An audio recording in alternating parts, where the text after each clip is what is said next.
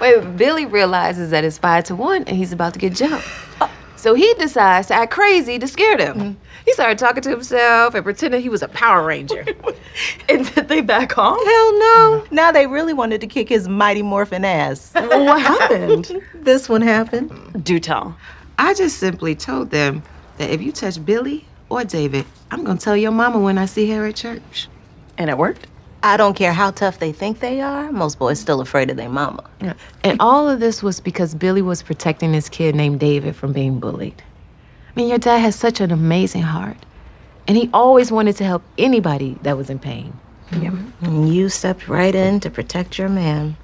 I swear, I never thought anything would keep you two apart. Well, I think the affair was proof of that.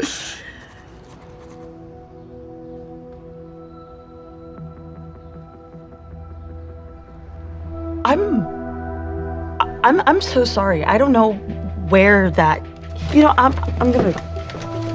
I'm just gonna go. I'm gonna go.